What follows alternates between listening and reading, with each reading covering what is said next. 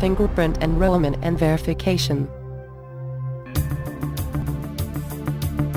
To start using the FingerTec H2i, you will have to enroll users into the terminal first.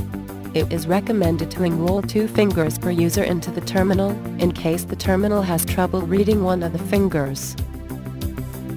These fingerprint templates can be downloaded into the TCMS V2 software, and can be uploaded into another reader, without having to re-enroll the user again.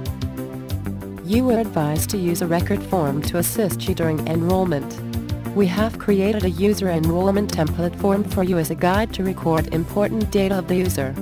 The form should contain relevant information such as the terminal ID, the user ID, the employee number, the name of the staff, the department he or she belongs, the IC number, how many fingers are enrolled, and the date of enrollment.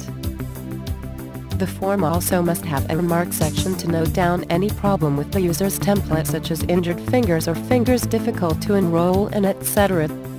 During enrollment, you have to make sure that the quality of the fingerprint is good.